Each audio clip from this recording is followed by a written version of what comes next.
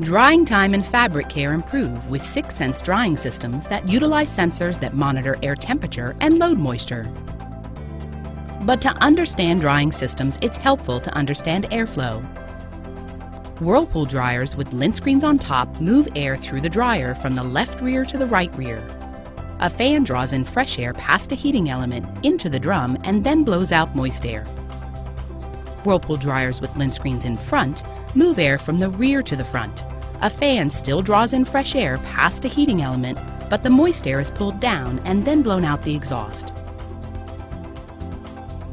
Now let's compare drying systems.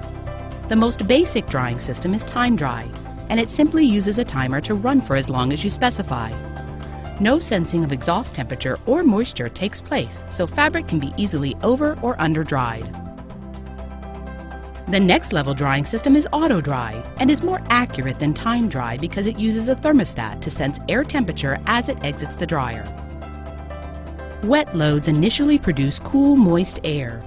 As heated air is pulled through the load, the temperature of the exhaust air rises. The thermostat limits the temperature of the load and avoids overheating by simply turning the heating element, or igniter, on and off. This process repeats until the desired dryness level selected by the user is reached. 6sense technology provides the next level of drying system. AccuDry adds a second sensor to improve fabric care and optimize drying time. Moisture sensors are used to detect the level of moisture in load items. Sensor strips inside the drum provide feedback each time a load item brushes past. As the load dries, there are fewer wet signals detected. Moisture sensors and the thermostat work together to determine how long to dry the load, using less energy and avoiding overdrying.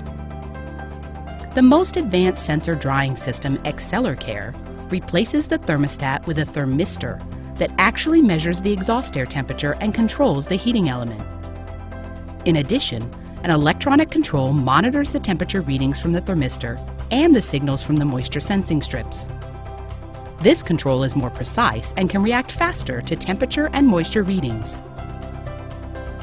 From the very simple time dry to the most adaptive drying systems of Sixth Sense technology, different combinations of sensors and controls achieve a wide variety of outstanding drying features and benefits.